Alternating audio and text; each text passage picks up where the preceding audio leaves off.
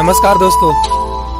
आपको लगा होगा मेरा थंबनेल देख के लगा होगा कि आ, मेरा ये माय फ़र्स्ट व्लॉग है लेकिन नहीं मैंने बहुत सारे चैनल बनाए बहुत सारे वीडियो एक ही वीडियो में मैं सक्सेस नहीं हुआ हूँ। इस बार तो मैं बहुत सारी उम्मीद रख के ये वीडियो बनाया हूँ।